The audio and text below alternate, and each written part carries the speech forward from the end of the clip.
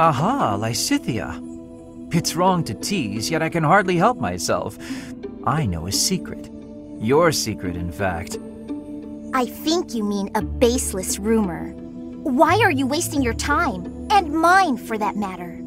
Well, it's a secret that could completely overturn what is considered common knowledge in Crest research. Shut your mouth! Just. Ah. Let's go talk somewhere other than here. Okay, where did you hear about it? There was a sort of accident in Professor Hanneman's room. I should have figured. You haven't told anyone, have you? Of course not. If someone else were to learn you have two crests, I might lose you as a test subject. Please stop talking so loudly. So what if I have two crests? If you insist on speaking of it, please do so quietly. My intuition was correct. You do have two crests. Wait, what? Did you just trick me? Trick is such a strong word. I think of it as testing a hypothesis. The truth is, I simply made an educated guess. Ah, well, now that I've confirmed it for you, there's not much I can do. I disagree. For example, you could tell me if you were born with them, or is the source magical? What does it feel like to use both crests at the same time? Is it pleasant, painful, euphoric? Enough is enough! I am done talking about this! As though I'd speak of this to the likes of you. I understand her desire for privacy, but to refuse my request for knowledge? It's, well, it's rude.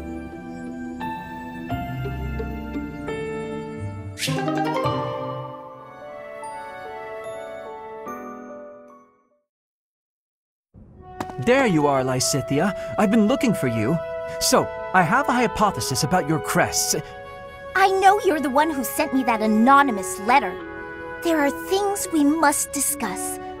Ugh, it sounded like some bizarre love letter. What? No, of course not. However, I wonder what you would have done if it was. Now I'm just confused and grossed out. I'm sorry, but that is not the overall topic of discussion. Do pay attention. Pay attention to you? As though anything you say is worth listening to. It's not like you can tell me anything I don't already know. You don't have a very positive opinion of your crests, do you? That's why you should listen to me. Um. I've dug through all my books, and there's no record of anyone being born with two crests. You are, to be blunt, an impossible occurrence. For you to have a second crest, it must have been forcibly implanted after birth. Is that your theory then? Yes, it is. To further the theory, if the power exists to implant a crest, then it must be possible to remove one too. And that is the real issue at hand. I. I could have one removed? That's what Hanneman is working on understanding. I'm helping him with it. Professor Hanneman. Based on your reaction, it seems you want one of your crests removed. I don't think I'd give up having two crests if I were you. Is that so? Even if you'd gone through horrifying experiments, endless trauma, and if you knew that all this pain meant you'd die very, very young? That's what you'd think? You're completely lacking in empathy, so of course you would make such a crass and foolish assumption.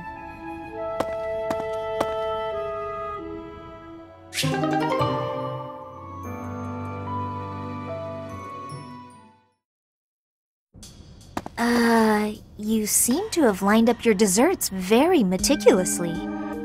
What you see before you, Lysithea, is a life choice. Oh, really? The most skilled pastry chef in the army has been asked to do the impossible in the heart of wartime. Source high quality ingredients, employ advanced baking methods, and create these two pastries.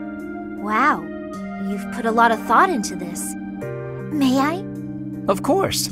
You can have but one, though. and it should be noted that they taste completely different.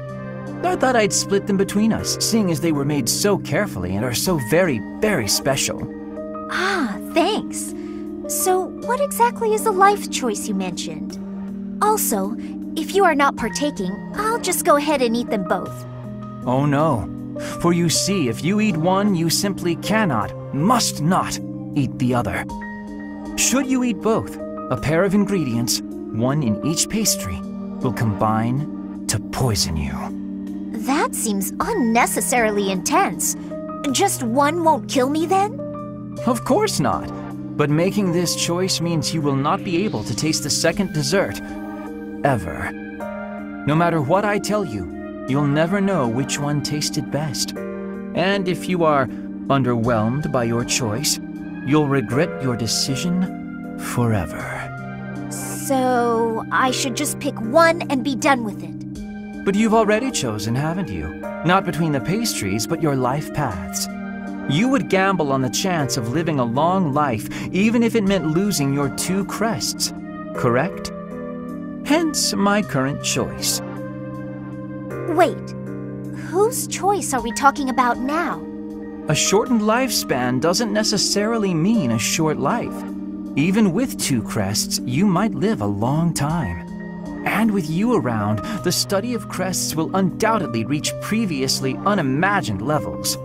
On the other hand, getting rid of them could help someone that I care about. Maybe. Or maybe it won't help at all. Unfortunately, one never knows until they eat the pastry. Even then, you can never taste them both. Hang on, Linhardt. Do you mean to tell me you care about me? Since when? When indeed. You are someone I care about, though. So much so I wish we could be family, you and I. Family? That escalated rather quickly. Although, having more family does sound nice. Anyway, I need to be going. Oh, and feel free to eat the pastries. I made up the poison bit because I didn't know how else to say what I wished to say. And because. Well, because I believe there are choices we can make where you can have both. I'll show you somehow, before the war is over. Are you sure these aren't poisoned? Linhardt, wait! Wait!